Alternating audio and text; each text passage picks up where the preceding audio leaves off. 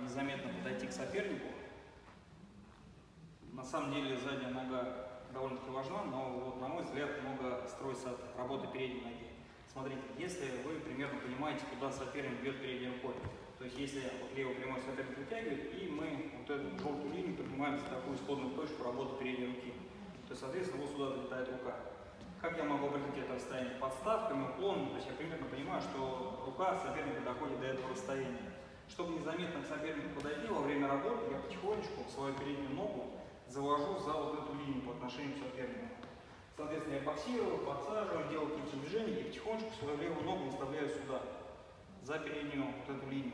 Так, чтобы у меня, условно говоря, носок моей ноги был за перчаткой соперника.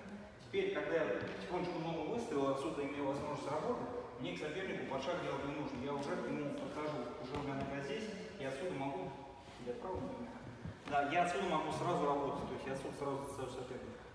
Ясно. Поэтому еще раз, мы определяем точку попадания, и от этой линии потихонечку, вот ему просто можно бросать, да, я потихонечку заношу ногу, и отсюда я уже сразу автоматически достаю.